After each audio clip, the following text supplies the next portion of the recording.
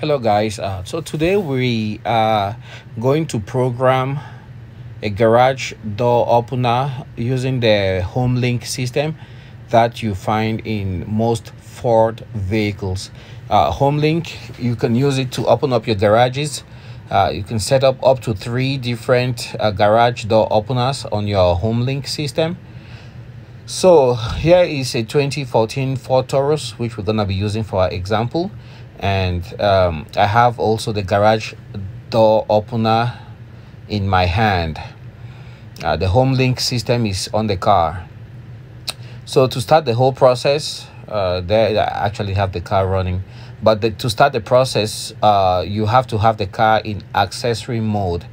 That's the HomeLink system on the car. It's on the sun visor of the driver side and that's the garage uh, we're gonna be programming. So to get into accessory mode you don't step on the brake you just uh, push the start button.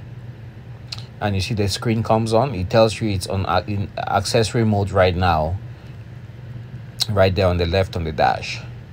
And what you do is you erase the previous uh, programming by pressing those two buttons.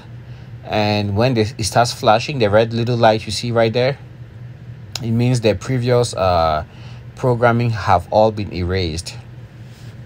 Next you take your garage opener place it as as close as you can to the um, HomeLink system and then you press the garage door opener and you press the HomeLink uh, button whichever button you want to program. And notice the flashing.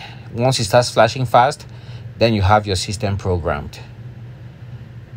And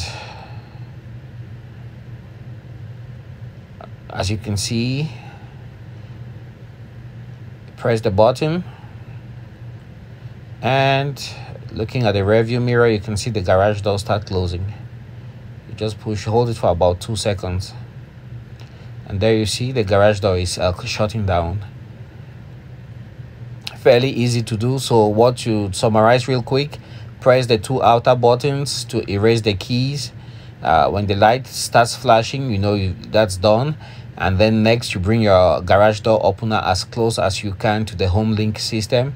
And then you press the garage door opener and simultaneously the button you want to program on your HomeLink system until it starts flashing. Then you are programmed.